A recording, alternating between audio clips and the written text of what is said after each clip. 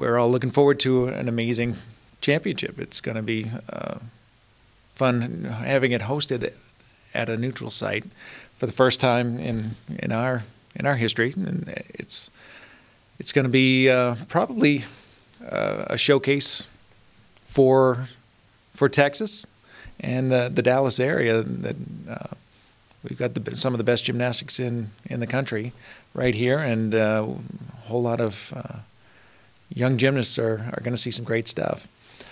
Um, I'd like to thank everybody in the Big 12 for, for making this happen. It's a big deal. We've been working on this for a long time. And I'd like to be the first to uh, welcome Denver because, uh, you know, uh, it's, it's, uh, it's a really, really cool championship. And it just became even cooler. Uh, so I'd like to pass this on. Oh. Yeah, I'd like to, uh, you know, repeat what Jay just said. Um, you know, welcome to Denver really excited to have you guys on board uh, for this championship. Uh, you know, we're going to try to capitalize on uh, all of our strengths. Uh, it's going to be a great competition this weekend, and um, we're going to give you guys a run for the money, all of you. you know, no, but uh, seriously, you know, to, to, be in Dallas, it's going to be incredible. Uh, it's a great recruiting opportunity for all of us, and um, we're just excited to be able to host, you know, a, an event like this, and especially um, in you know prime recruiting territory for all of us. So um, excited to be here, and you know I hope we all hit 24 for 24. Thanks. Um, I just want to echo everything that everyone said. First of all, I think it's first class the way the arena set up, and um, definitely went over above and beyond to make it look amazing out there. And I know the level eight state meet is uh, being held at Woga this weekend, so we're excited to have all those youngsters and their families um, in the crowd. We've pre-sold a lot of tickets, so we're looking forward to maybe an almost sellout for this meet, and that's really exciting for all of our programs and for the Big 12 conference, with the Big 12 being, you know, right here. So just really excited about that. Um, Denver, of course, uh, coming into our conference, which happened last summer. It was a um, a very quick thing, and I think we're all excited. And our team has um, had a really good season this year. Um, we've definitely, I think, exceeded some expectations of others. We did lose a great group last year, and uh, a lot of people have stepped up on our team. So I'm really excited about the way that they've done this year so far. So, and good luck to everybody tomorrow.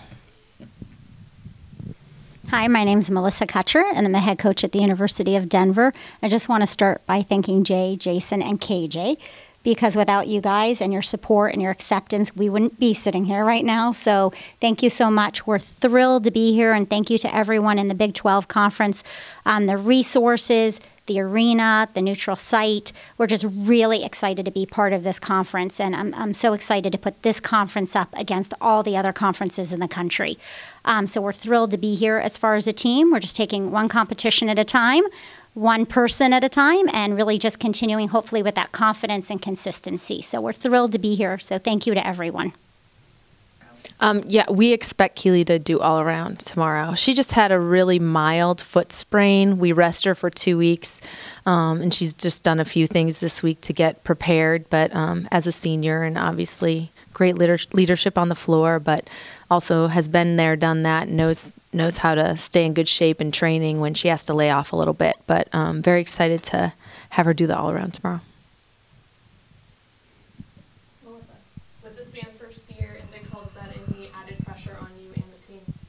No, I think we're actually looking at it as an opportunity, and we're excited to be here instead of feeling the pressure. Um, and you know, it's like again, it's just been um, such a wonderful conference, and uh, it's been a great year for us. Our athletes, I really feel like, are maximizing their potential. Um, we had two. Uh, unfortunately, we had two early on season ending injuries, and I feel like the rest of the team has really just stepped up and maintained their focus, a great work ethic, been very positive, very coachable, and we're, we're obviously very proud of them.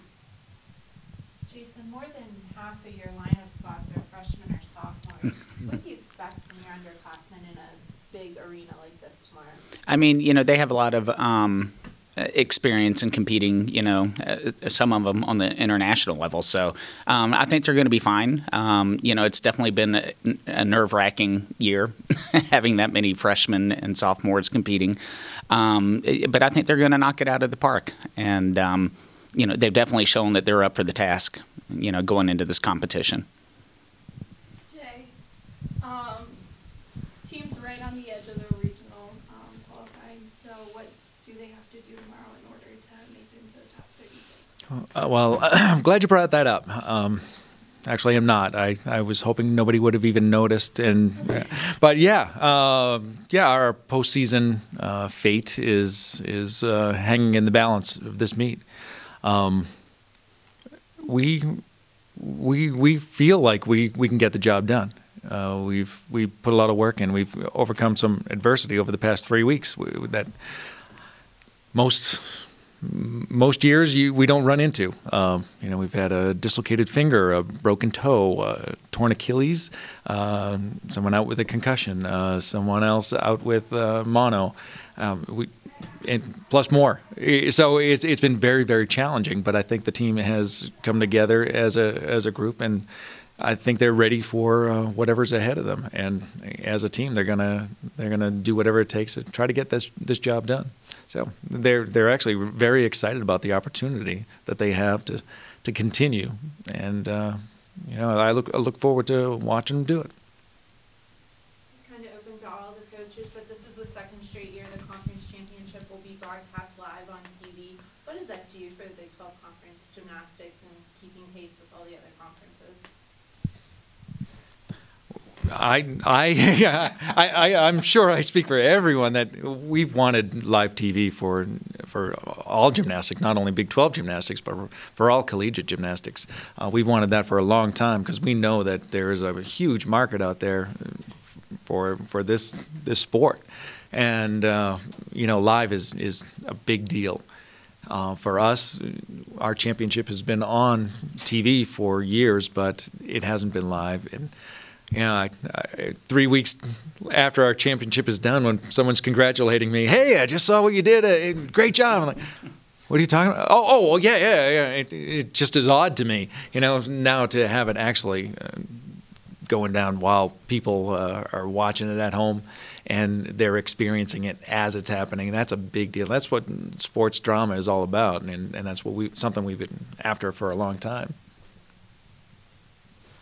I mean, it's it's it's huge for us because you know West Virginia to, to be able to, ex- to expand our um, you know recruiting uh, market. It's a bad word. you know, but but in the Big 12 territory, that's huge for us. Um, you know, so to have it live broadcast, um, you know, just not only so our fans can see it, um, you know, in Pittsburgh and in the West Virginia area, but to get the West Virginia name, you know, spread across the Big 12 territory uh, is incredible for us, especially considering you know the how strong the recruiting is uh, in Texas. So.